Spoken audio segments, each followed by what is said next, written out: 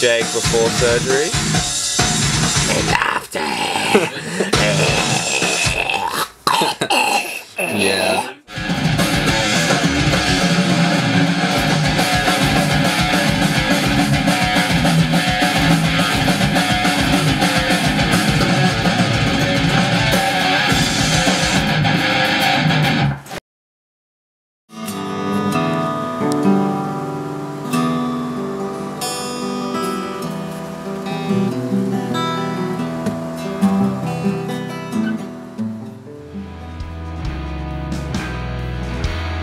Shit.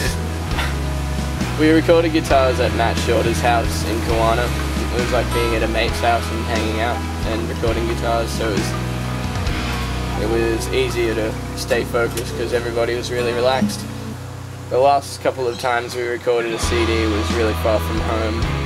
Like we were in Sydney last time, sleeping in a tent while we weren't at the studio, and it was really icky, grubby, dirty.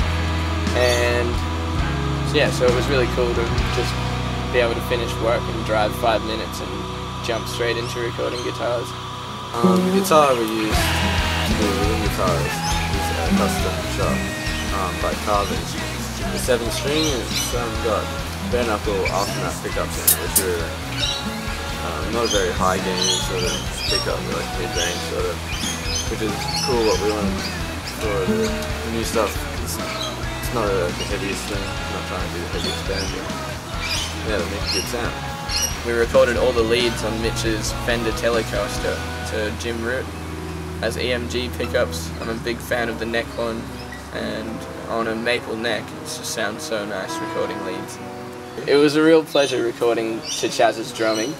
He, he's grown so much in the last couple of years and I know that he's been waiting and waiting for us to record so that he can show everybody else just how, how far he's come. It makes things so much easier for me and Jake as writers when we have a drummer like him. Whenever he brings his touch to the songs, it makes us so much more excited about our own music. It's cool.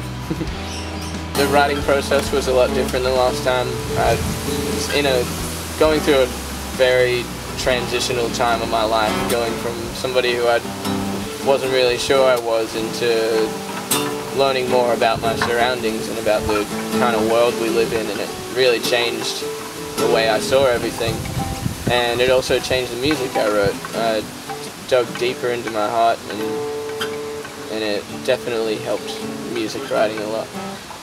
It was also different in the way that the last album we did, Hollow Thoughts of a Nameless Man, was five songs written by Jake and five songs written by me.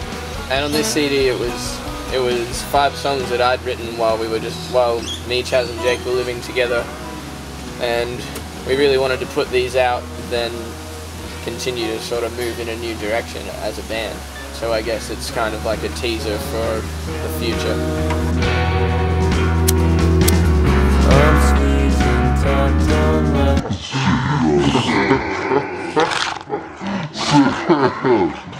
Oh, よし。